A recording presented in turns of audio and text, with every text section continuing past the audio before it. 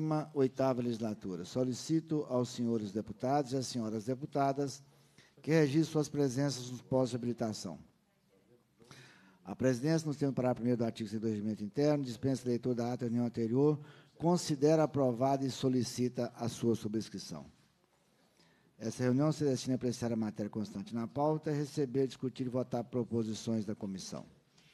O presidente acusa o recebimento das seguintes proposições, das quais designou com relatores os deputados mencionados. Projetos de Lei 3.903 2016, 4.269 e 4.520 2017, no primeiro turno, deputado Dirceu Ribeiro. Projeto de Lei 4.148 de 2017, no segundo turno, deputado João Magalhães.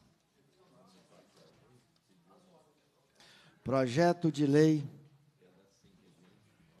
Sim, passa-se a primeira fase da ordem do dia, cumpre discussão e votação de pareceres, pareceres, parecer sobre proposições sujeita à apreciação do plenário.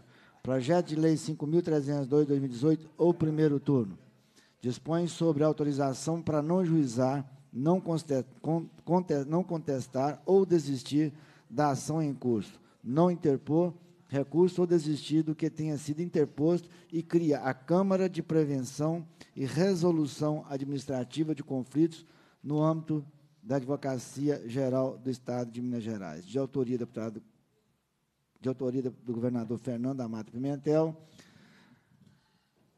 deixo de apreciar a matéria por falta de pressupostos regimentais. Cumprida a finada reunião, a presidência agradece a presença parlamentar, dos convidados, do público em geral.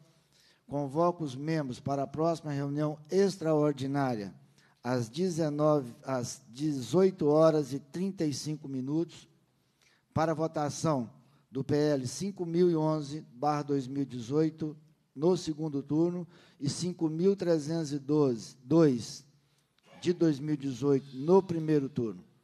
Determina a lavratura da ata e encerra os trabalhos.